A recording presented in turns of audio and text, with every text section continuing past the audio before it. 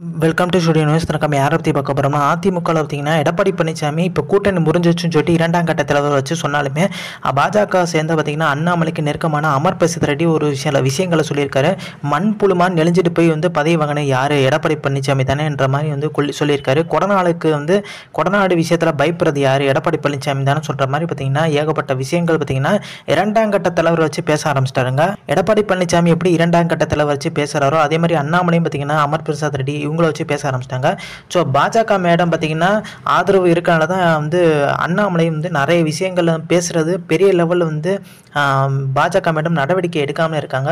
So அண்ணாமலைக்கு பார்த்தீங்கன்னா Delhi madam ஆதரவு தந்துட்டு இருக்கதா தகவல் வெளியே இருக்குது எடப்பாடி பழனிசாமியெல்லாம் டேரெக்டாக அமித்ஷாவையோ மோடியோ அட்டாக் பண்ணி பேச முடியாது. அதனால தான் வந்து அண்ணாமலையை வந்து குறிவித்து அட்டாக் பண்ணி பேசுறதுக்காக தகவல் வெளியே இருக்குது ஸோ இப்போ நடந்துச்சு பார்த்தீங்கன்னா டெல்லிக்கு போயிட்டு வந்து எடப்பாடி பழனிசாமி வந்து கூட்டணி முடிஞ்சிச்சு சொன்னது வந்து அண்ணாமலை குறித்து தான் வந்து விமர்சனம் பண்ணுறாங்க ஸோ எடப்பாடி பழனிசாமிக்கு அமித்ஷா குறித்து விமர்சனம் பண்ண தைரியம் இல்லை. அதனால தான் அண்ணாமலை வந்து ஒரு பகல் கையை யூஸ் பண்ணிட்டு இருக்காரு. ஸோ இந்த இன்ஃபர்மேஷன் முடிச்சா லைக் ஷேர்